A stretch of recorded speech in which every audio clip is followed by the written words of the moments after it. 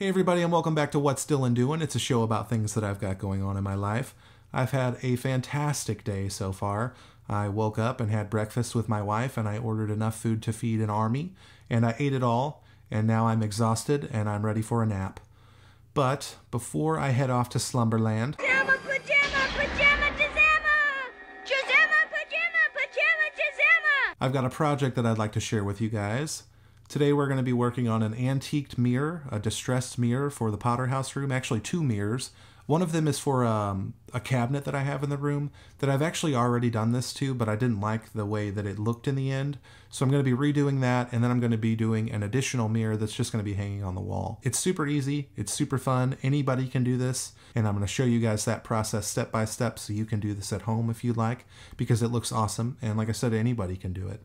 So I'm going to show you guys the products that I'm going to be using to make this happen, and then I'm going to go outside and get started, and then I'm going to take a nap because I'm exhausted and my belly is full. Let's do it.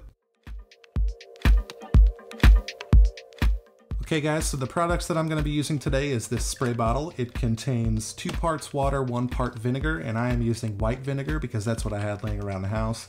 I suppose you could use any kind of vinegar, apple cider, really anything, uh, but it's one part vinegar, two parts water. And then I also have this Rust-Oleum brand mirror effect spray paint. There are several different brands of spray paint that make this mirror effect stuff, but this is the one that I found uh, at Home Depot, super cheap. I think it was like four or five dollars for this can. It's not a large can, but you really don't need all that much. Uh, essentially, you can transform any glass surface into a mirror with this spray paint and it looks phenomenal. In addition to that, I've got some uh, satin finish or matte colored uh, black spray paint and I have some uh, satin finished gray spray paint. I suppose you could use gloss, but I don't think it would look as good, at least for the application that we're going to be using it for, so I would stick to the matte finish. I also have some paper towels and some trash bags, and I've made sure the area that I'm going to be working in is nice and uh, clean. This is a super, super messy uh, project. You could use rubber gloves. In fact, I probably recommend using rubber gloves, but I never use rubber gloves.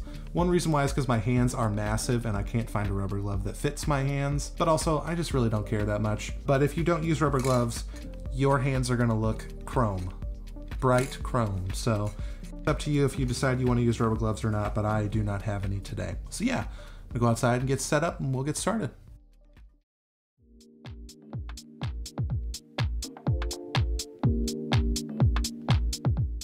All right, guys, I've got everything prepped and cleaned and ready to go. You definitely want to take some time to make sure that the surface you're painting on is nice and clean and free of any kind of debris or hair or dirt because we're going to be spray painting on it. And once that spray paint is dry, you will not be able to remove those things. You will see them and it's going to drive you nuts. So definitely take some time to make sure that the surface is nice and clean and ready to receive some paint. You will notice I have a small pane of glass next to the door that I'm working on, and it does have black paint on it. However, that's on the underside of the glass, and I'm not going to be painting that side of the glass, so I'm not really worried about making sure that that surface is clean, just the areas that are going to be receiving paint today. So once I've got that all cleaned up and ready to go, I can start laying down the vinegar water solution, and this part is very important. It's kind of hard to explain, so bear with me, I'm going to do the best that I can. So this vinegar water solution You've kind of got to think of it like masking tape. So when you're painting, you're putting masking tape on all the surfaces that you don't want paint to bleed onto, right? So when you're spraying this solution down, you have to think of it as those are the areas that are not going to be receiving paint. So for instance, I've decided that all of the surfaces in the center, I want to have a nice smooth reflective mirrored uh, effect on it. And then all of the edges surrounding the center of the mirror, that's where I want my distressing to be. So that's where I'm going to spray all of my vinegar solution. Now, if you're wanting to do this and you're wanting the entire surface to be aged and have distressing all over the surface of the mirror, then go ahead and spray the whole thing. But you have to be conscious of where you're spraying this vinegar because that's where your distress marks are going to be. So like I said, if you want the whole thing to be completely distressed, then spray the whole thing with the vinegar solution.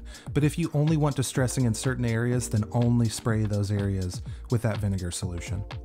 But once you've got it all laid down, once you got the vinegar where you want it, then you're gonna do a nice even coat of that mirrored effect spray paint over the entire surface. And once you've got that done, you're immediately gonna grab some paper towels and start dapping up all of that vinegar solution. You're not gonna wait for the paint to dry, you're gonna go straight into it.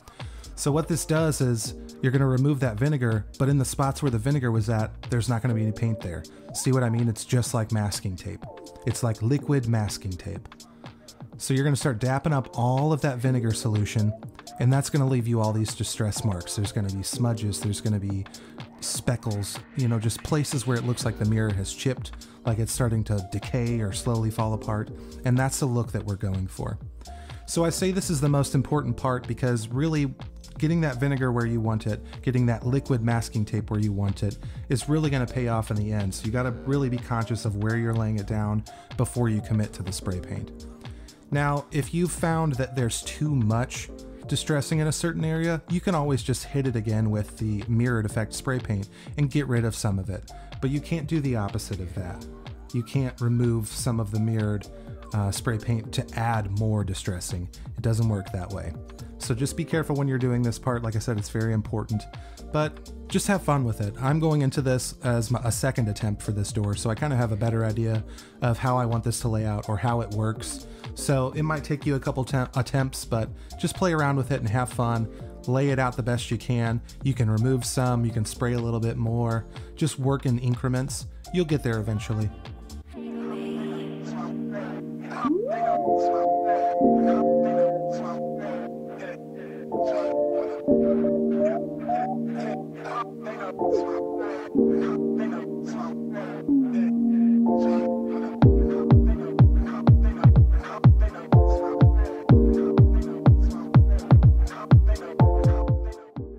So I've got my door done, I've got the distress marks exactly where I want them, I've got smooth reflective surfaces exactly where I want them.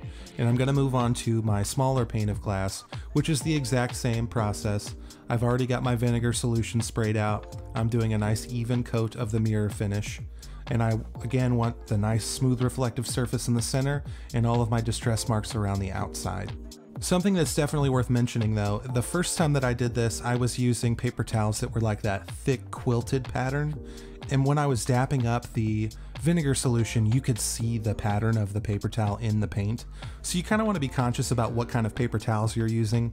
Definitely go with something that has like a more um, like a smoother pattern to it. Of course, all paper towels have that like dimpled material or, or feel to them, uh, but when it's less of a pattern, it's harder to see it in the paint. You're leaving stipples in this with that vinegar solution, so the paint's already going to be spotted, but as long as there's not like a weird quilted pattern there, you really can't tell. You could also use like a washcloth or a lint-free rag. However, you won't be able to use it again after this project, you will have to throw that rag away. So in my opinion, it's probably best just to stick with the paper towels.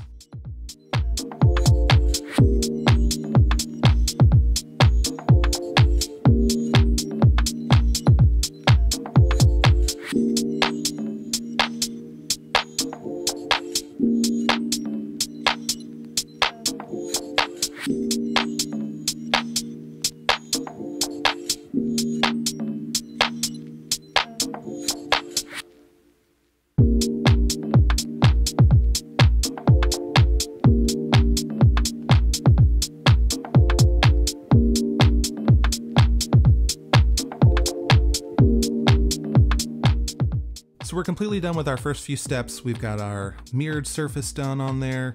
It's dry, it's ready to go. So our next step is going to be sealing in the back with a certain color of paint. And really you can use any color of paint for this, but the point of it is to add like a background color. You don't want the distress marks in your mirror to look clear or see-through, because that's the state that they're in right now. You've got this nice reflective mirror uh, surface everywhere with spots throughout it. Your distress spots are completely clear and see-through because the paint did not go through our, our vinegar solution and you can see through those still. But you don't want them to be clear. It doesn't have the same effect that you're looking for when you're trying to make a distressed mirror. So you can use, like I said, you can use any color of paint that you want to get through this step. I have decided to go around the edges of the mirror with a flat black spray paint and then go through the center of it with a gray flat spray paint. And the reason I did that is because I wanted the color to progress. I wanted it to be nice and dark around the edges and then slowly get lighter towards the center of the mirror. But you can use whatever color you want. I've seen people use green. I've seen people use gold, which looks really, really cool. It's just not something that I wanted to do for this project, but it does look absolutely amazing. So feel free to play around with that as well. Just pick a couple colors and see what looks best for your project.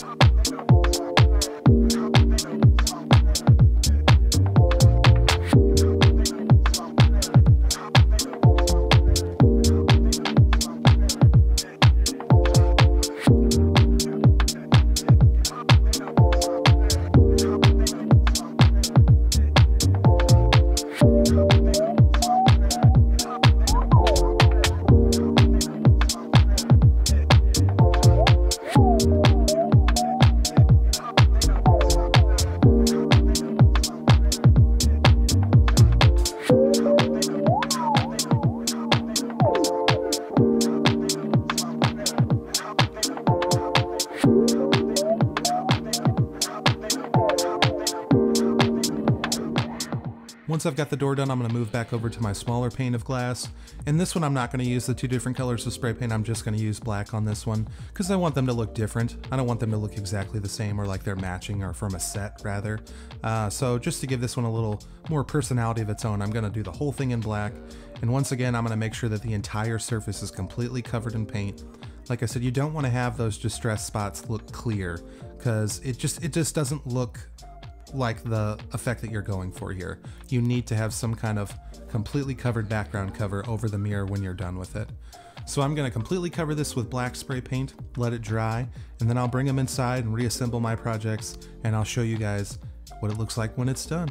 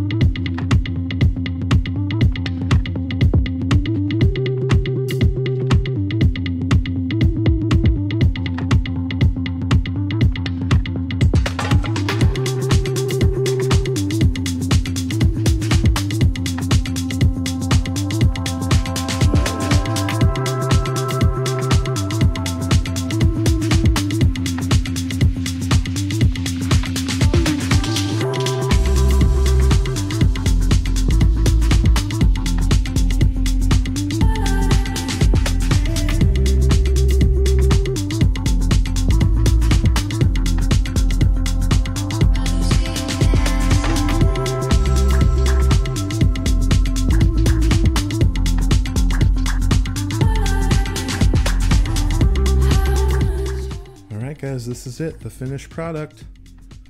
This is my wall mirror, all framed and reassembled. You can see all of the distress marks we made today in the mirrored surface with that black spray paint color showing through all my distress marks. And that looks exactly how I was hoping it would look. Really, really good. And then right beside that, we have our cabinet door and you can really tell the difference between the black undercoat that I did and right above it is this gray color. So it kind of just goes from the black into that gray color. And I think that looks fantastic. I'm really happy that I that I decided to do that. Now another thing you might notice here is how grimy and dirty the surface looks. And what I did to achieve that is after I got everything reassembled, there's a clear wax furniture coat that I use to seal this this the furniture that I paint. This is all uh, it's called milk paint, and I seal it with a uh, clear furniture wax. And I just applied some of that to the glass surface to get this foggy, gross look. for lack of a better term, but it does look kind of gross, doesn't it? And that's that's optional. You definitely don't have to do that. There's no it's not sealing anything there's it's not necessary, but I just think it looks a lot cooler with it being all murky and stuff. You can really tell like this patch here, there isn't any of that wax. But as opposed to up here, there's a lot of that furniture wax. So you can barely even see my face there, as opposed to like right down here, where there's less of that furniture wax, you can really see my face. So it does add a whole nother uh, grimy element to it. But again, that's optional. Definitely not necessary, but it works for what I'm going for. But that looks perfect, you guys. I really love all these distress marks. And some of them you have to get pretty close to it to see them. You know, like all of this on the sides here, it goes from that black into a light gray. Same thing over here. It starts off real dark and black and then the distress marks get lighter into a light gray color. And I just think that looks so cool. Before, the whole cabinet door was covered in black distress marks, and it was too much.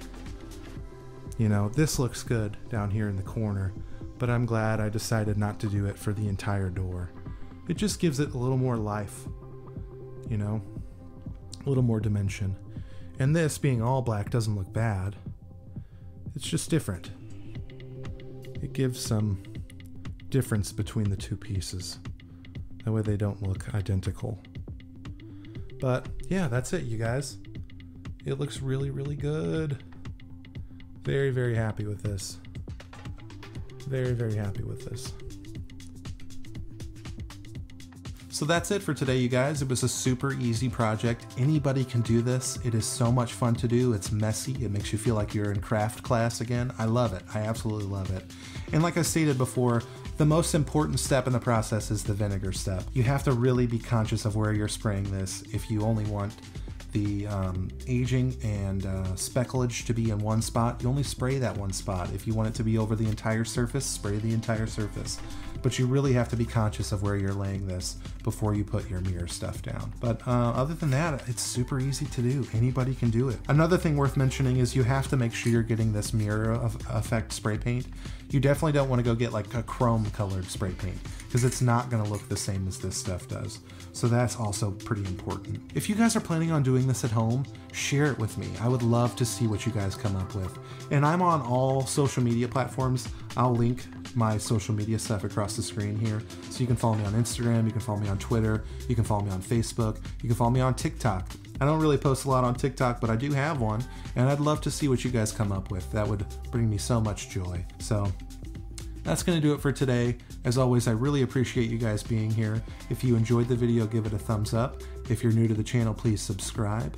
But yeah, until next time, I'm Dylan, and this is what I've been doing. I'll see you guys later.